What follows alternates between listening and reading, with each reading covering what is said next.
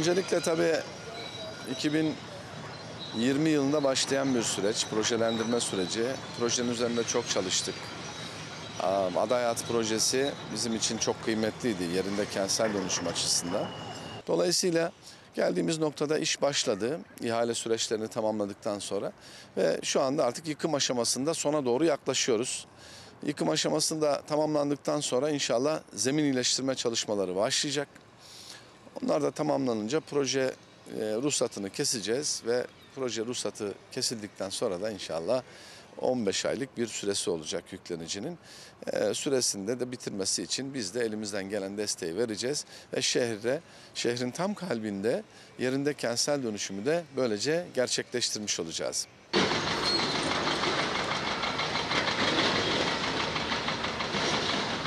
Şehrin tam kalbinde diye ifade ediyoruz. Merkezinde e, yerinde kentsel dönüşümü gerçekleştiriyoruz. Bu kıymetli bir şey.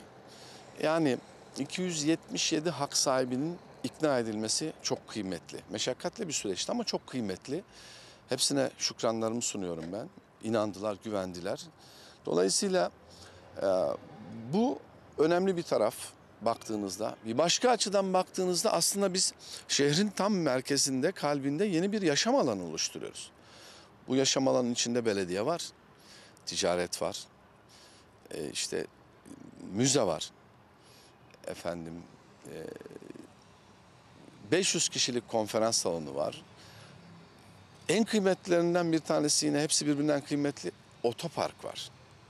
Otopark da çok kıymetli biliyorsunuz merkezde. Dolayısıyla tam bir yaşam alanı oluşturuyoruz. Ee, Yeşiliyle, ahşabıyla, suyuyla projenin zenginleştirildiği, mimarisini zaten biraz önce bahsettik.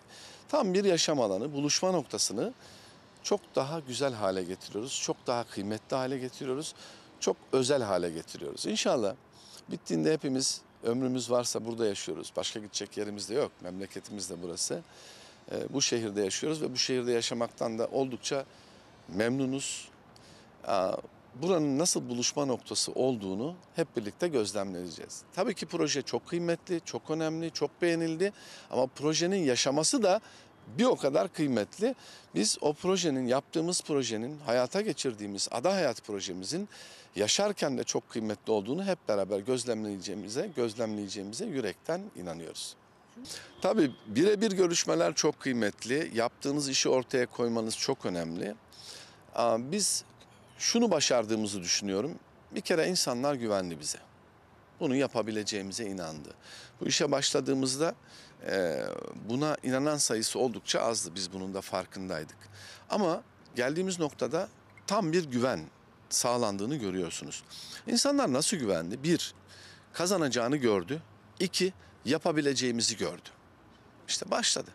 Hani derler ya başlamış iş bitmiştir inşallah süresinde de bitmesi için bütün tedbirleri de alıyoruz. Bütün gayretimizi de ortaya koyuyoruz. Hem biz hem de yüklenici firmamız.